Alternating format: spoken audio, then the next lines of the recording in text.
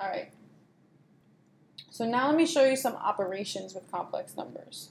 So we're going to start with addition and subtraction, and because they kind of go hand in hand. Addition, subtraction of complex numbers. Now operations, you know, in mathematics, when we talk about operations, we're talking about the basic operations. Addition, subtraction, multiplication, and division. Those are the four main operations in mathematics. So when I say operations of complex numbers, I mean adding them, subtracting them, multiplying them, and dividing them. Addition and subtraction go hand in hand. It's very similar to just combining like terms.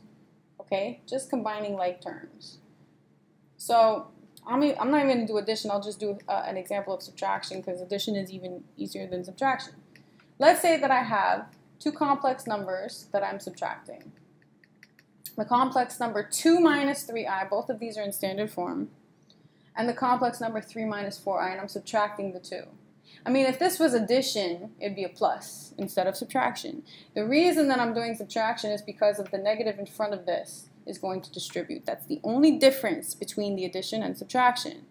If it's subtracting, the negative distribute, distributes. If it is addition, then I'm adding. Nothing really changes. So I'll show my work. This distributes, it becomes a negative 3 and a positive 4i.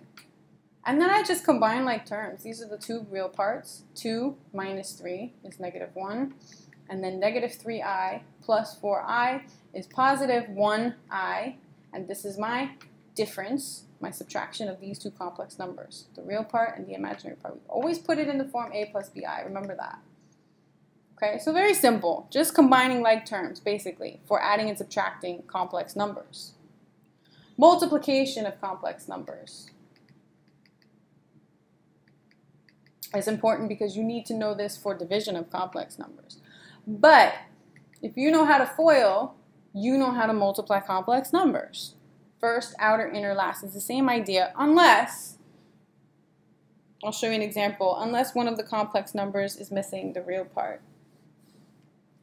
Um, and don't forget, we talked about this. i squared is equal to negative 1. Now we're going to use it. So let me, let me see. 2 minus 3i times 4 plus 7i. This is, let's say, the product of these two complex numbers. This is what I want to do. And because they're both complex numbers in standard form, I have two terms and two terms, I can use the FOIL method. First, multiply the first two terms. 2 times 4 is 8. Outer, multiply the two outer terms. 2 times 7i is 14i. Inner, multiply the two inner terms. Negative 3i times 4 is negative 12i.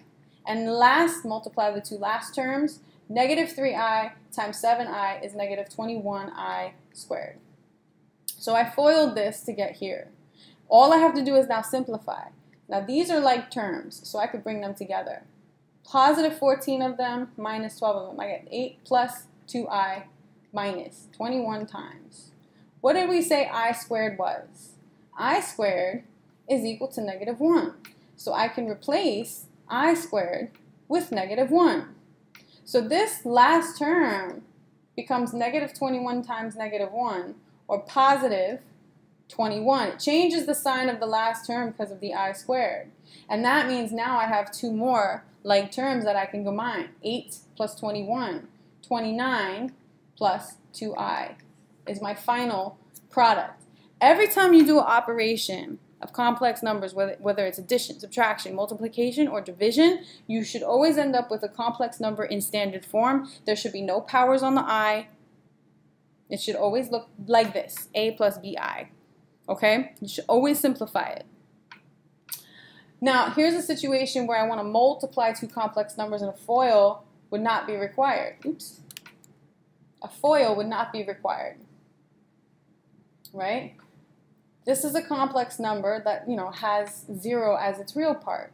And then this is multiply, multiplying by another complex number in standard form.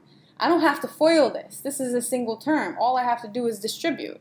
So it's actually a little bit easier, but for some reason students get more jumbled up with this than they do in, in this kind of scenario where you're foiling. So just be careful. This is still a product of complex numbers. It's just I don't have to FOIL because this is a single term. 2i times 2 is 4i. 2i times negative 4i is negative 8i squared. This i squared is negative 1. So this becomes negative 8 times negative 1 or positive 8, and we write it in this form. Positive 8 plus 4i is my product of these two complex numbers. All of them should come into this form at the end of the day, right? Division. In order to do division of complex numbers, I need to do multiplication. So uh, 2i over 4 minus 3i. Imagine you're dividing these two complex numbers and you need to simplify this into a complex number of sta in standard form. Um, what we're going to use here to do this are called conjugates. Now conjugates is very important. You're going to hear a lot of conjugates. Conjugates utilizes a product of um, two terms with the same two terms but opposite signs or difference of squares. At the end of the day, you, will see what I mean. Um, 4 minus 3i. The conjugate of 4 minus 3i has the same two terms. The 4 in front, the 3i at the end, but the sign in the middle is going to change. That's the only difference between this one and this one. These are called conjugates. The same two terms, the sign in the middle changes. You need to find the conjugate of the denominator. So in this case, the conjugate of the denominator is 4 plus 3i and take that conjugate and multiply the fraction, both on the top and the bottom, by the conjugate of the denominator. So, if I'm dividing complex numbers, find the conjugate of the denominator and multiply the top and the bottom by that conjugate. In the numerator, that 2i distributes. I get 8i plus 6i squared. On the bottom, I get a FOIL situation. First, 16. Outer plus 12i inner minus 12i, sorry, plus 12i, inner minus 12i, and last minus 9i squared.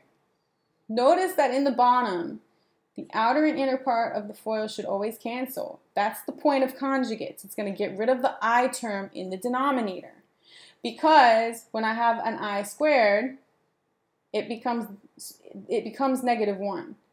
So it's going to clear out this i squared here. So I'm going to get negative 6 and this is going to be a 16.